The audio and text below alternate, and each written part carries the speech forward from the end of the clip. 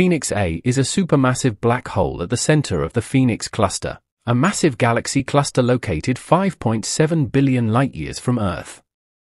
It is estimated to have a mass of 50 to 100 billion times the mass of the Sun, making it the largest known black hole in the universe. Phoenix A is also one of the most active black holes, with jets of material launched into space at nearly the speed of light. These jets are thought to be created by the accretion of matter onto the black hole, and they can extend millions of light years into space. The Phoenix cluster is one of the most luminous X-ray clusters known, and Phoenix A is thought to play a major role in its energetics.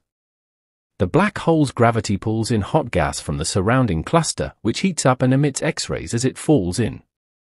This process also drives the outflow of material from the black hole, which creates the jets.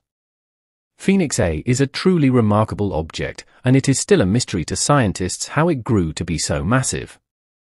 One possibility is that it formed from the merger of two or more smaller black holes. Another possibility is that it grew through rapid accretion of matter in the early universe.